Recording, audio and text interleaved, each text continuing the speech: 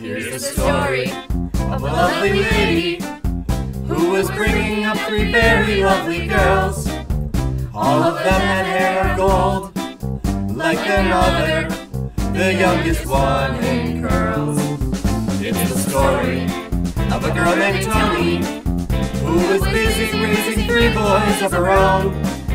They were four friends living together, yet they were all alone.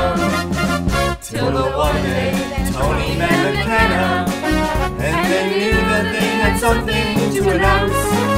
That this group must somehow become roommates.